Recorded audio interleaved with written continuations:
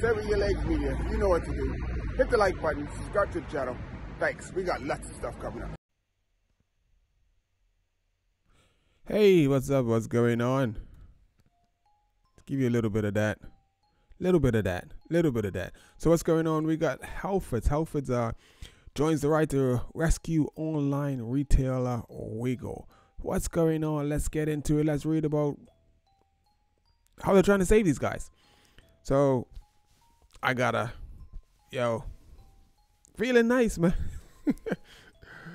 oh so I'm getting ready for a little meeting that we got coming up. So check it out. We got the logo on the t-shirt. So this is the business shirt. We're trying to keep it professional, professional to professional to professional.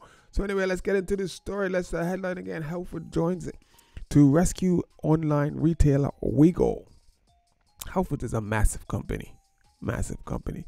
They may not, uh, you know, deliver the greatest uh, quality in bikes and whatnot, but they are a massive company. So let's get into it. Halfords, the high street bicycles chain, is, is joining a peloton of uh, suitors for the stricken online retailer Wiggle. Sky News understands that Halfords, which has a marked uh, capitalization of just over 500 million, has registered its interest in a bid for Wiggle CRC, which fell into administration last month. However, will be pitted against Frasers Group, the owner of Sports Direct, and Evans Cycles, which is also among the bidders. Nax is also said to have have had no. Oh, Nax has Nax is also said to have been considering a bid, although spokesperson for the company denied on Thursday that it was interested. Halfords has already stepped in to honor our warranties and products brought from Wiggle and Chain Reaction. The London listed company, the London listed company chief executive Graham Stapleton said, "We don't want anyone to be left without working parts or accessories th- through no fault of their own, or to find that they have paid in advance for a service that they can no longer benefit from." The cycle market is fundamentally sound and is ahead of where it was in 2019, but the extraordinary uh, disorientation caused by the pandemic and the volatility of the past three years has uh, resulted in the closure, the, yeah, the closure of many independent bike shops, and now we are seeing large online retailers calling time to. The collapse company, which includes Wiggles Chain Reaction and uh, Vitus, uh, Nukeproof cycling brand, became uh, insolvent after losing the financial support of parent company Sig- is that Signa Signa Sports Unlimited. Wiggle CRC employs about 450 people and it has continued to trade during the administration, process, administration process.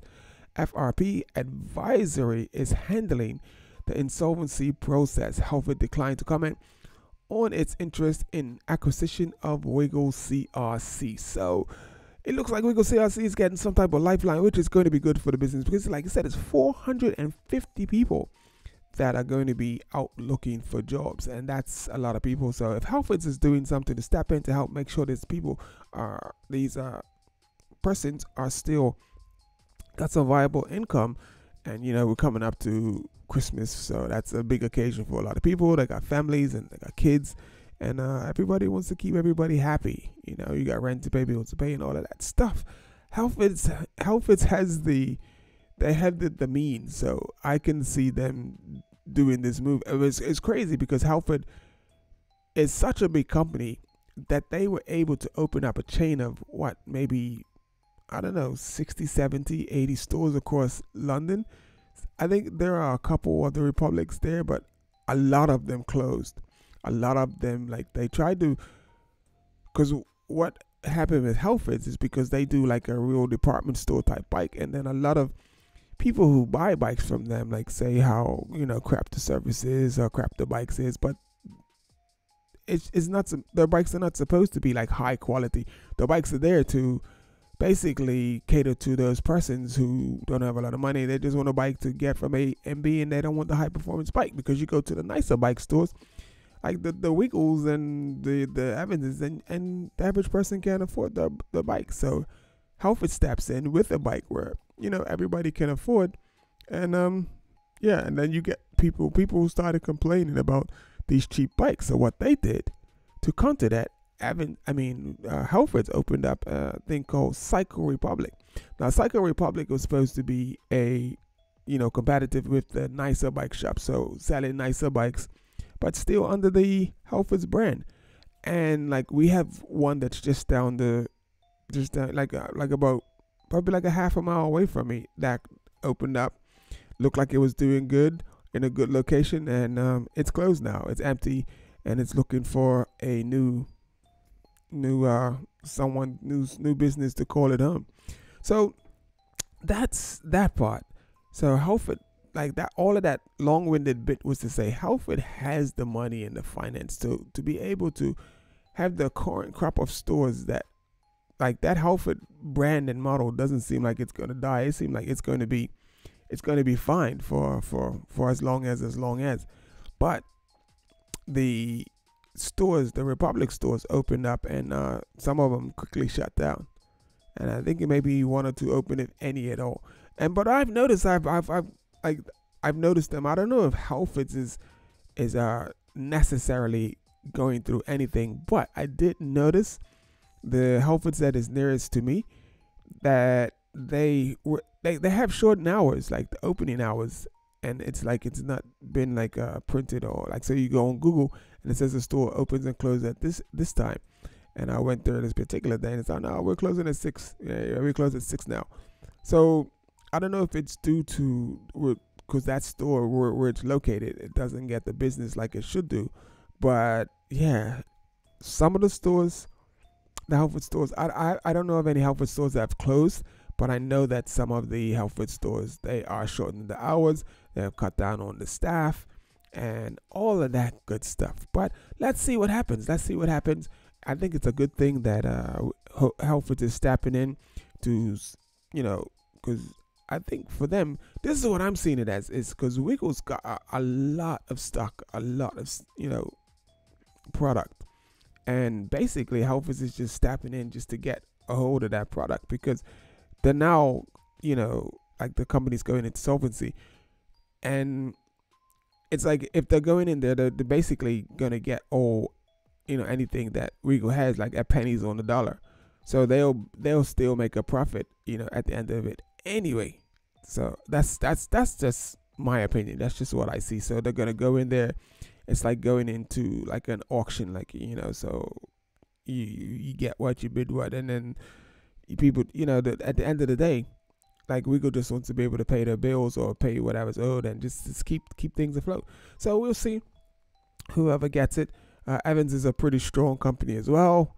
Uh, not as big as Halfords, but they're pretty strong, and uh, we'll see what happens, and we'll see who gets it. We'll just keep a keep an eye on this space and see what like I said, keep keep eye on this space and see what happens. But anyway, thank you for tuning in. This has been Innis Looby, Savage Your Legs Media, just trying to keep you up to date with everything that's going on in the cycling world. And now we will see you in Dublin. Uh, and uh, so next weekend we will be from Friday, Saturday, and Sunday. We will be uh, reporting from like just going live and and uh, stuff from Dublin. Just you know, just doing lots of stuff from Dublin. So we're gonna be at the Cyclocross World World Cup and yeah, unfortunately, it's going to be no Matthew Matthew van der Poel, and uh, I'm not sure if Tom Pidcock. No, Tom Pidcock's not going to be there, and no uh, Wout van Aert. So the big boys aren't going to be there. I'm I'm not sure if uh, any of the big name female riders are going to be there as well. So, but if Puck Peterson and uh, uh, Van Empel is there, that's going to be pretty cool to see.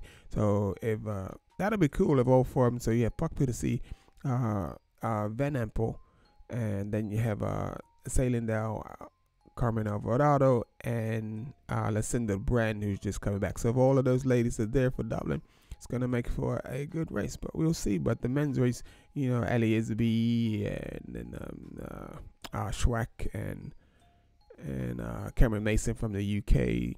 So it should be a good. It should be a good race. It should be a good race. Uh, Thibaut hopefully he's back on form and everything is going okay.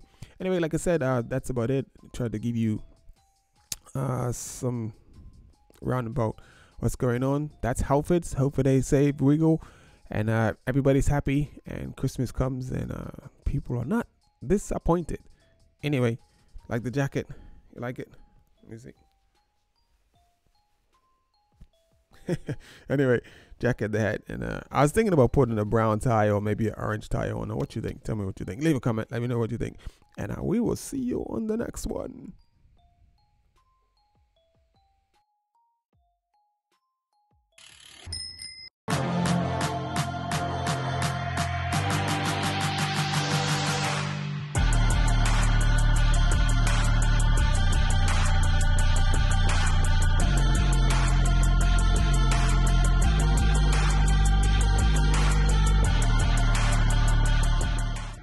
Legs Media. You know what to do.